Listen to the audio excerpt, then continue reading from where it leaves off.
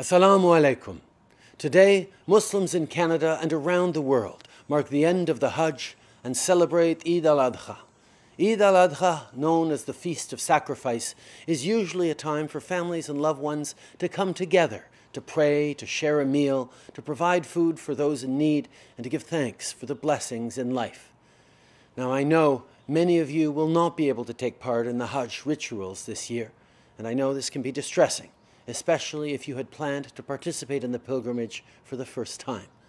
But we know that by following health guidelines, we can keep each other and our communities safe.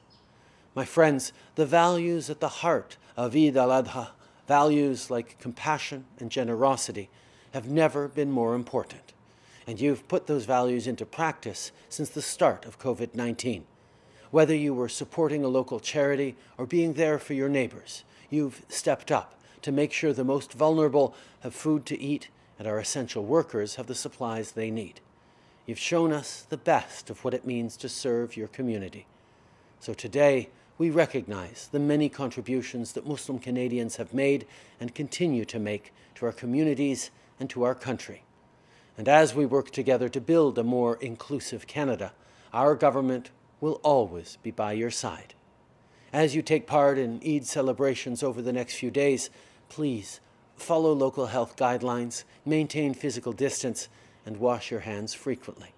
On behalf of our family, Sophie and I wish you a happy Eid al-Adha, Eid Mubarak.